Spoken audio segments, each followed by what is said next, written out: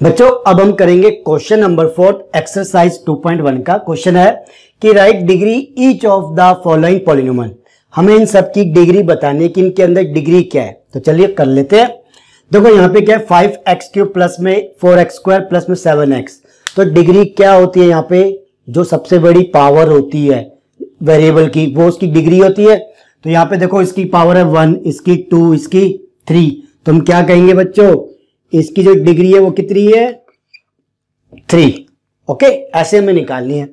यहाँ पे देखो फोर माइनस वाई स्क्वायर तो यहाँ पे देखो पावर क्या है? टू इधर क्या है? ज़ीरो ठीक है जी? तो यहाँ पे क्या हो गया? तो इसकी पावर हम टू हाइएस्ट है ना? तो टू बोलेंगे। चलो जी ऐसे ही है फाइव टी माइनस में अंडर रूट सेवन तो देखो इसको हम कैसे लिख सकते हैं? फाइव टी की पावर वन माइनस में अंडर रूट सेवन, साथ में वाई की पावर ज़ीरो ऐसे लिख सकते हैं हम, क्योंकि वाई की पावर ज़ीरो मतलब वन तो यहाँ पे पावर क्या सॉरी वाई कह रहा हूँ टी लिखो ना। टी की पावर ज़ीरो ठीक है? तो यहाँ पे देखो पावर क्या हो गई? वन हाईएस्ट हो गई तो डिग्री भी इसकी वन हो जाएगी।